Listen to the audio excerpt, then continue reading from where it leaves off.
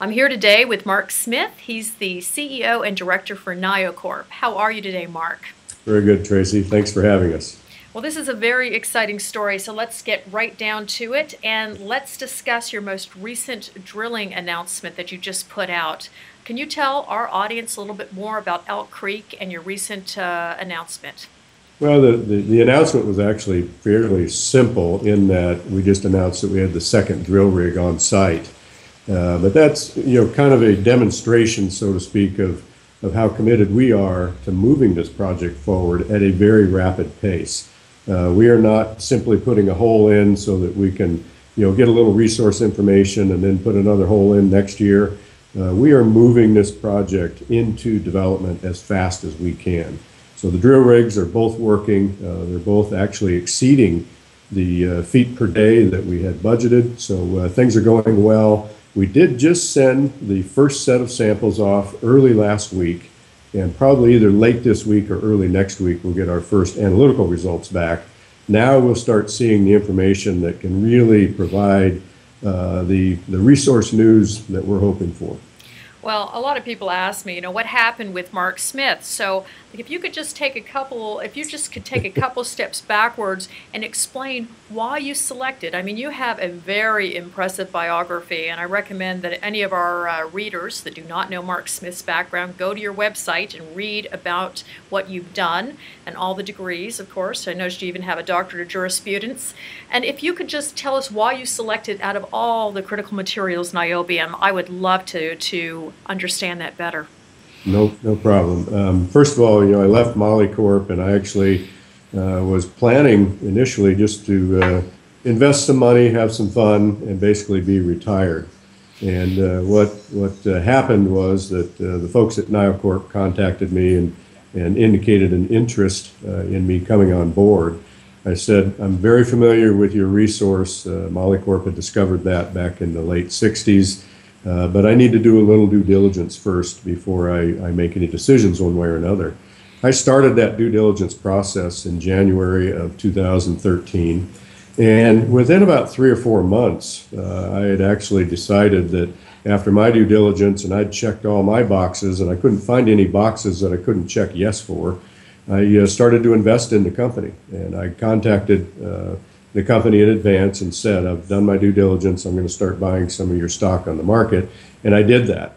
By September of last year, uh, unbeknownst to me, I had acquired enough stock in the company that I think I was the single largest shareholder.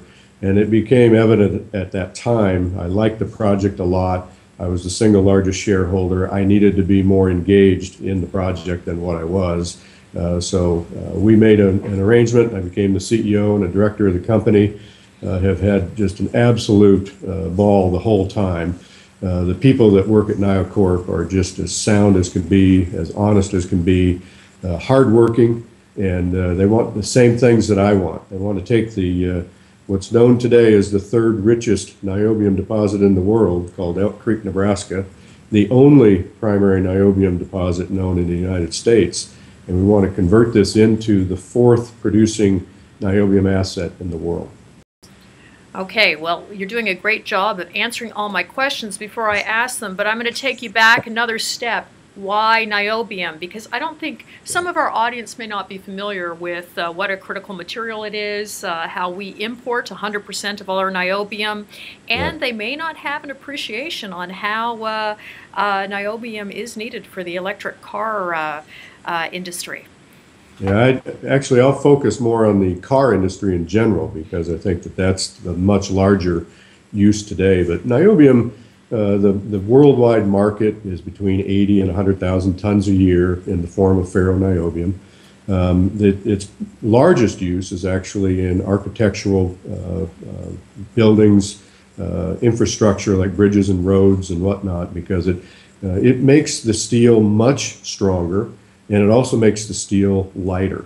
So it does a lot of things that are good for everybody. Uh, the second largest use of, of niobium is in the automobile industry, where every you know steel-bodied car or steel chassis car out there in the entire world today has niobium in it, and that makes the car safer for you and I as drivers, but it also lowers the weight of that vehicle so that we use less gasoline or diesel or whatever fuel we're, we're burning uh, to get from point A to point B. So again, it's a win-win for everyone involved. Uh, the European Union, the United States have both deemed niobium to be uh, a critical and strategic mineral.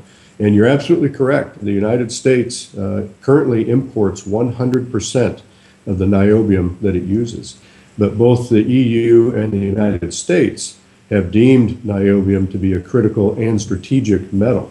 So, you know, this is something that needs to be addressed, and I think that we're in the best position of all of the potential niobium resources out there to be the fourth producing niobium asset in the world.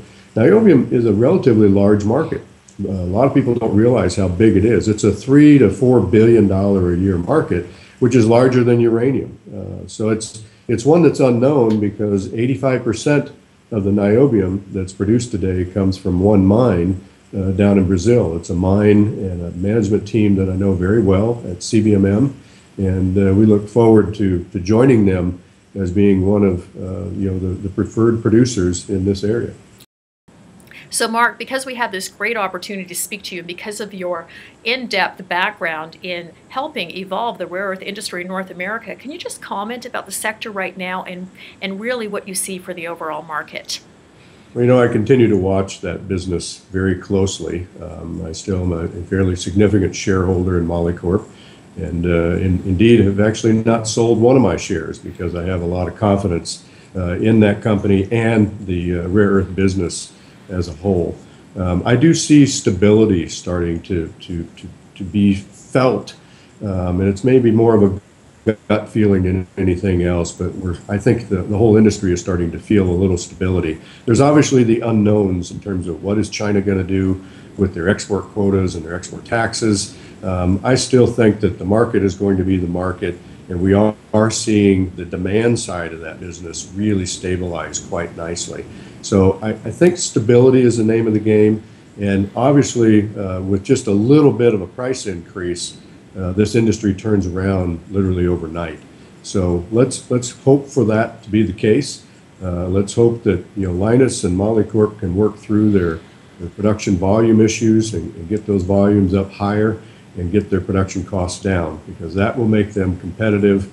Uh, I, I, still believe in diversity of supply, uh, even in the niobium sector. We think diversity of supply is a, is a very big parameter that, that the customers think about all the time. And in the rare earth sector, it's no different. So having Lynas and Molycorp be successful, I think, is important to the long-term uh, stability of the rare earth industry. Well, thank you, Mark, so much for joining us today. My pleasure, Tracy. Thank you very much.